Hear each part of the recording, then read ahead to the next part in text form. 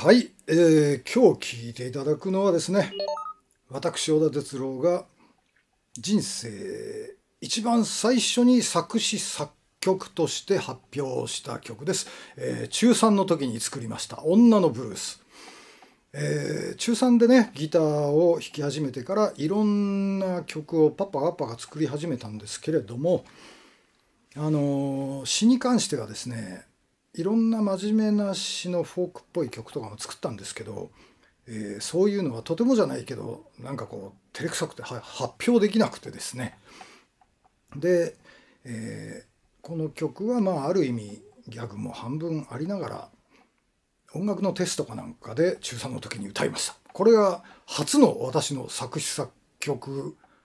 自作曲を人前で歌ったという、えー、ケースなわけですけれどもでもね別にギャグというわけではなく私実際あの青江美奈さんがとにかく好きで、まあ、他にもね、えー、クールファイブさん森進一さん、まあ、そういったこのサックスがむせびなく当時なんとかブルースっていうのがいっぱい流行ってたんですけどああいうのがもう本当に大好きでね、えー、そういうのが好きだっていうエッセンスを詰め込んだ曲でございます。それでは聴いていただきましょう「女のブルース」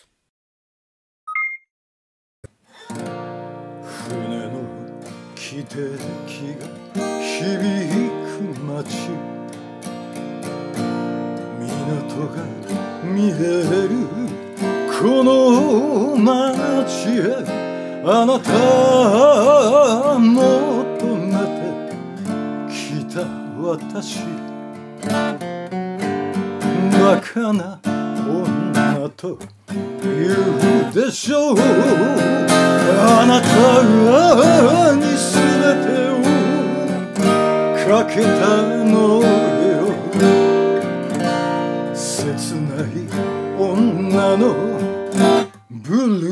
ー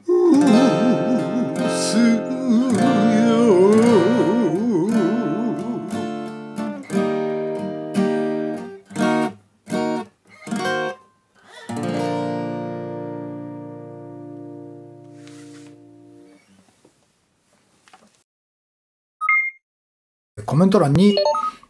質問なり、なんかこんなことやってくれでもなんかそういうことをね、えーガンガン書き込んでもらえると嬉しいなと思ってます。意外に見てるけどチャンネル登録してないっていう人いるでしょ。せっかくだからチャンネル登録してください。よろしくね。それじゃあ。